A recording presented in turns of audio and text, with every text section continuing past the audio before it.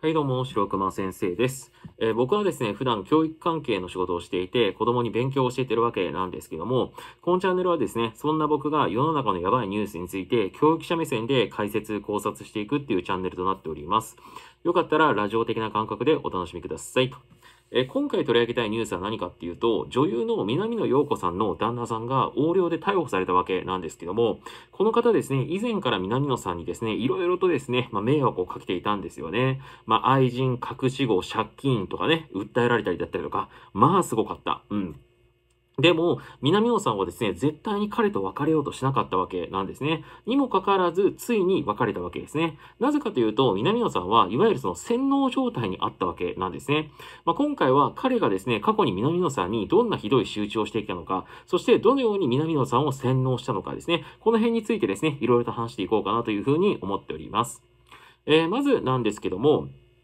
まあ、スケバンデカっていうですね、役をですね、えやったりとかもして、えーそのね、10代の頃に大ブレイクしたですね、南野陽子さんなわけなんですけども、まあ、現在はですね、女優さんとして活躍されてる方なんですね。まあ、非常に綺麗な方ですよね。で、この方が誰かっていうと、まあ、夫の金田という人物なんですね。はい。で、このね、金田という人物とですね、えーついです、最近ですね、南野さんはついに離婚したわけなんですね。うん。で、そもそもですね、このね、南野さんとね、えこの金田という男はですね、ほんの1、2年前に結婚したわけですね。ちなみに南野さんは現在56歳なんで、まあ、50過ぎてからの結婚だったっていうわけですね。まあ、結構晩婚ではありますよね。はい。で、今回ですね、離婚した件についてですね、南野さんはこういう風に発表しているわけなんですね。えー問題が起きるたびに何度も無理だと思いました。でも人は失敗や間違いを犯し、迷惑をかけるようなことがあったなら、きちんと反省し、人生をやり直すためにも、切り捨てるのではなく、そばで見つめる人間が必要だと思っていたと。ですが今、自分の無力さを感感じていますと。はい。まあ、このようなことを言ってるわけなんですね。うん。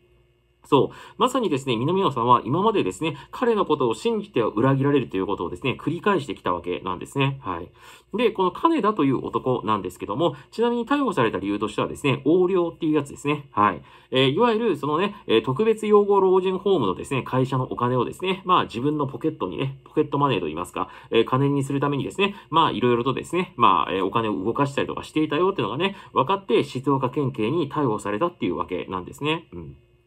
で、なんですけども、まあ、そもそもですね、この件がどのようにバレたのかっていう話なんですね。はい。えーこのね、金田という男はですね、昨年のですね、10月くらいの段階から、どうやらですね、仲間たちと一緒にですね、その、いわゆるその不正にですね、手を染めていたっていう感じらしいんですね。うん。で、この件に最初に気づいたのがですね、監査に入ったですね、静岡市のですね、えーその、そういう事務局といいますか、ね、えー事務局の担当者がいたらしいんですけども、その人物が監査を始めた結果分かったらしいんですね。まあ、いわゆるですね、こういうね、グループホームとか、老人ホームみたいな、そういうところはですね、え国のお金、補助金とかも結構動いてるジャンルなので、結構ね、あの、国の方からといいますか、まあ、市役所とかそういう公務員が結構監査に定期的に入ったりするらしいんですよね。で、その中で、あれ？なんか変なお金があるぞっていうことに気づいたらしいんですね。で、そのね、額がですね、もう結構高かったと。はい。もういわゆるその使途不明金がですね、定期監査、定期的に監査するっていうですね、定期監査の中で使途不明金が見つかって、で、その後にですね、ちょっとこのね、老人ホームはしっかり調べた方がいいなっていうことで、何回も何回もですね、さらに個別に監査が入っていたっていうらしいんですよね。はい。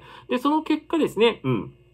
最終的にですね、資金を外部に流出させたと取れる発言だったりとか、証拠とかいろんなことが出てきた結果、はい、じゃあこれはもう刑事告訴しましょうということで、まあ、えーしたわけですね。そして、まあ、警察が動いて、まあ、ものの見事にですね、すぐさまこの男は逮捕されたという話なんですね。うん。えーで、なんですけども、うん。まあ、もともとですね、南尾さんっていうのはですね、ちょっと男運がない女優なんて言われていたんですね。というのも、南尾さん自身はですね、過去にいろんな本当イケメン俳優と付き合ってきました。まあ、えー歌手とかもそうかな。例えば、えー少年隊の東山紀之さんだったりとかですね。あとは、元ヤクルト池山選手とかですね、チューブの前田さんとかですね。はい。あとは、米米クラブのですね、カールスモーキー石井さんとね、結婚のですね、もう前提、結婚前提の真剣交際もしていたなんていうんですね。まあ、ただなんですけども、どれもこれもうまくいかなかったんですよね。特にカールスモーキー石井さんに関してはですね、石井さんの自宅でなんと浮気相手と手とですね、鉢合わせしてしまったらしいんですね。で、口論に発展して、さらに、えーその石井さんがですね、南ヨンさんに暴行したことでですね、なんと破局にまで行ってしまったっていう話なんですね。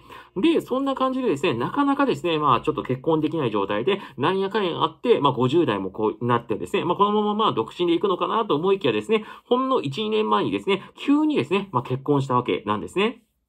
で、それが金田さんだったという話なんですね。まあ、ちなみになんですけど、出会ってから約半年くらいのスピード結婚だったというふうにされてるわけなんですね。はい。で、まあ、最初はですね、南野さんもですね、えー、スケバンデカ結婚です、スケバン婚ですとか言ってですね、なんか結構ね、あの、いろんなメディアでですね、幸せいっぱいにそのことを話していたわけなんですけども、そこからがですね、不幸の始まりだったわけなんですね。はい。えー、という何かっていうとですね、この旦那の金田がですね、いろんな問題をね、起こすわけなんですよ。はい。まあ、例えばなんですけど、結婚前に住んでいたマンションの家賃の滞納トラブルだったりとかですね、はい。あとは、彼がですね、手掛けたエステだったりとかアパレル事業ですね、はい。で、そこにおいてですね、4億8000万円にもの、えー、上るですね、巨額の金銭トラブルだったりとかですね。はい。あとは、結婚後にですね、銀座の美人ママを愛人にして子供を産ましていただったりとかですね。はい。まあ、こんなことがですね、ポロポロポロポロ、えー、出てくるわけなんですね。うん。で、特にですね、この隠し子の時は南尾さんめちゃくちゃブチ切れたらしいんですよ。はい。そしたらですね、この金田という男はどのようにですね、言い訳したかっていうと、ママは、ママはね、子供が欲しいと悩んでいたと。だから僕は DNA を提供しただけなんだっていうふうに言ったらしいんですね。まあ、つまり、その、えー、好きとか愛してるとかいう気持ちじゃなくて、あくまでママを救うために僕の DNA を提供する意味で、まあ、そういった性行為をしたんだっていうことを言ったと。はい。そしたらですね、南野さんは最初は激高していたんですけども、なんやかんやって最終的にはその言葉を信じて、まあ、矛を収めてしまったわけなんですね。はい。すごいですよね。うん、南野さんもまだ信じるかっていうね。はい。で、さらにですね、その後何が起きたかっていうとですね、うん。えー、金田さんのですね、横領疑惑ですね。はい。えー、これはね、この横領疑惑が今回逮捕された老人ホームとはまた別口だと思ってください。はい。とあるクリニックにですね、関係していた金田がですね、なんとその使途不明金1億8000万円っていうのが出てきたらしいんですよね。で、そのクリニックは、そのクリニックの家賃だったりとか、従業員の年金などが払われていなかったっていう話なんですね。で、その結果、このです、えー、ですね、いわゆるその、えー、金田がですね、どうやら関係しているということでですね、結構捜査が進んでいたっていう話なんですね。はい。で、その当時もですね、南野さんはその件についてこうやってコメント出してるんですね。いけないことがあれば、すごく反省が必要だし、きちんとしないといけないことだと思いますと。でもね、金田とは家族だから、私、私は感謝していることもありますし、といった感じで、むしろですね、金田さんをかばうような感じだったんですね。うん。で、さらに言うと、金田さんはですね、あるですね、週刊誌のインタビューに実際にね、答えてる時もあったわけなんですね。まあ今までね、数々のトラブルが報じられてきたわけですよ。はい。で、その際にですね、このね、金田は何て言ってたかっていうとですね、うん。え、何を言っても悪く書かれる。妻にはちゃんと正しくと言われていますと。でも間違って書かれていますから、僕が覚醒剤や殺人を犯しているわけではない。自分は剣道の世界で生きてきた。剣道は真面目に正しくは基本なんですから、というふうに言ってるわけなんですね。はい。まあ、だから、ちなみにこの確かにこの金田という人物は数々のトラブルを起こしていろいろ警察沙汰というか、にもなってはいたんですけども、いわゆるその立件ですね。いわゆるその正式なですね、逮捕で前科がつくってとこまではいかなかったわけなんですね。うん。だからそういうのもあって、いや、私は悪いことはしないんだ。逮捕も、逮捕されて前科もついてないんだ。懲役とか執行猶予とかもないんだからっていう、そういう主張だったんで、みたいですね。はい。えー、で、なんですけども、うん。じゃあどういう風にしてこの金田という人物が南野さんのことを垂らし込んだのかっていう話なんですけど、これ何かっていうとですね、この金田はとにかくですね、豆で口が達者っていう特徴があるらしいんですよね。はい。まあ、いわゆる、その南野さんのスケジュールも全部把握していて、出演者とかも毎毎回チェックしていたっていう話なんですね。うん。で、さらにですね、今までいろんなトラブルになったんですけども、最終的にはさっき言ったように立件にならなかったわけじゃないですか。それについてですね、ほら見たことが俺は悪くないんだっていう風にですね、南野さんにね、ずっと言ってらし、言ってたららしいんですね。で、南野さんも、あ、なるほどと、最終的に立件もされてないんであれば、そうか、やっぱりこれは無実だったのか、みたいな感じで、まあ、えー、どんどんどんどん金田さんのことを逆に信じていってしまったっていう背景もあるみたいなんですよね。うん。で、実際ですね、この金田という男はですね、結婚前からも結構豆だったんですよね。と何かっていうと、結婚前と結婚した後もそうか、だったんですけども、え、当時ですね、その南野さんのお父さんがですね、まあもうお亡くなりになったんですけども、その箱根のね、老人ホームで暮らしていたらしいんですね。そしたら何をしたかっていうと、この金田という男は足しげくですね、その施設に通いまくったらしいんですね。そしてお父さんの世話をめちゃくちゃするわけですよ。そうすることによって南野さんはですね、その優しさに惚れ込んで、あ、この人は悪い人じゃないっていうふうに信じきったわけなんですね。うん。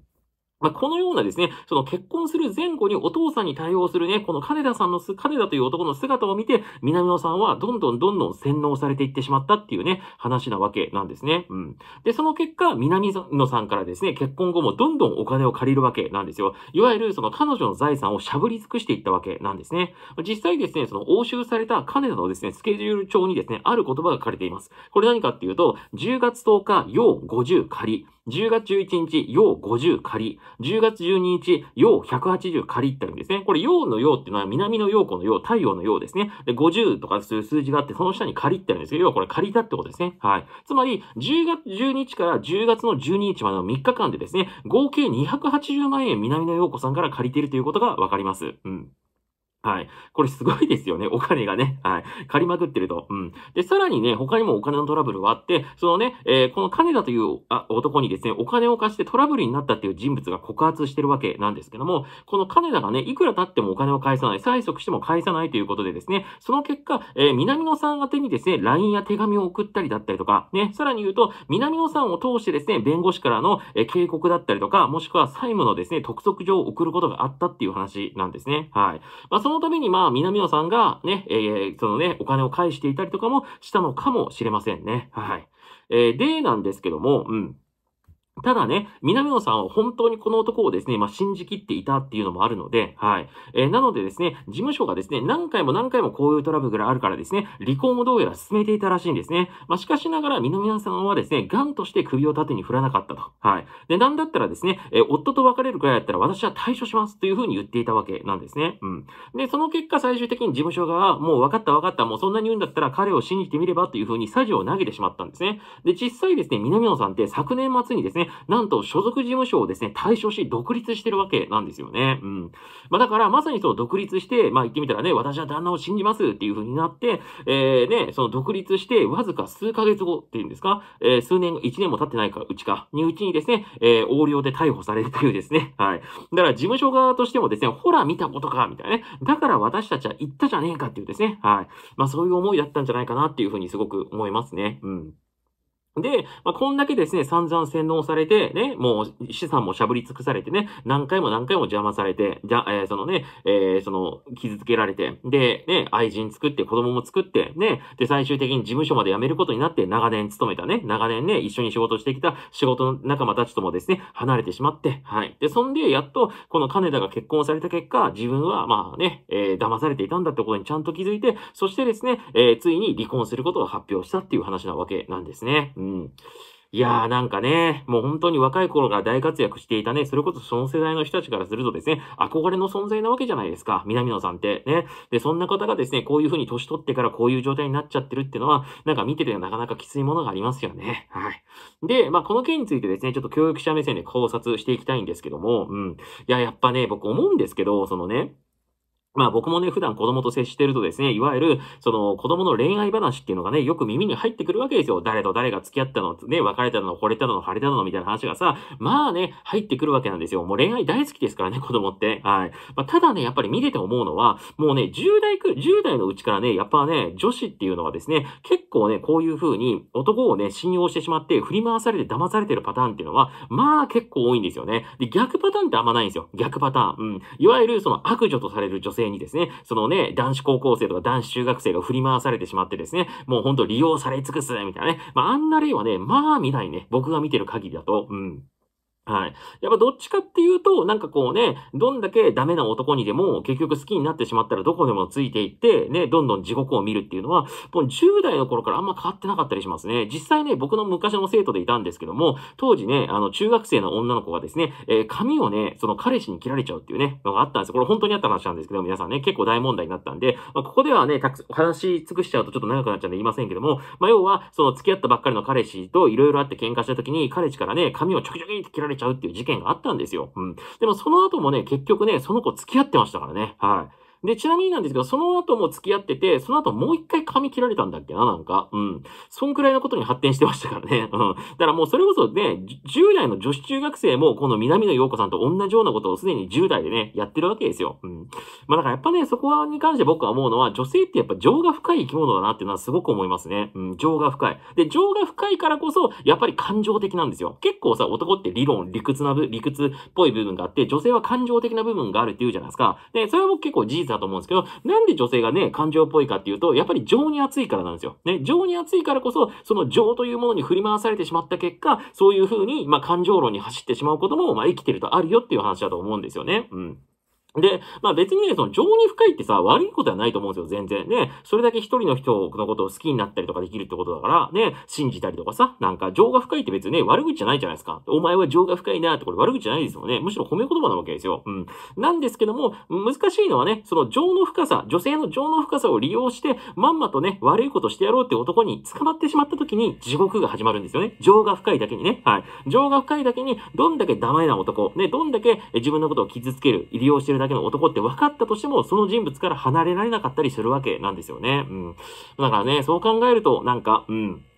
ね、南野さんもね、この情の深さをね、もの見事に利用されてしまったわけだから、まあね、まあこれで別れたわけだし、今後も人生続くわけですからね、今後はその南野さんのその情の深い部分をですね、きちんと理解してくれて、それをね、利用せずにね、むしろなんか、えー、そういう気持ちとちゃんと向き合ってね、幸せにしてくれるようなね、なんかそういう男性と付き合ってくれたらいいんじゃないかなっていうふうに僕としては思いました。はい。えー、というわけですね、今回はこの辺で終わります。この話ですね、えー、ちょっとのご、えー、ご共感してくださった方、よかったら高評価、チャンネル登録ですね、コメントありましたらぜひよろしくお願いします。どうもありがとうございました。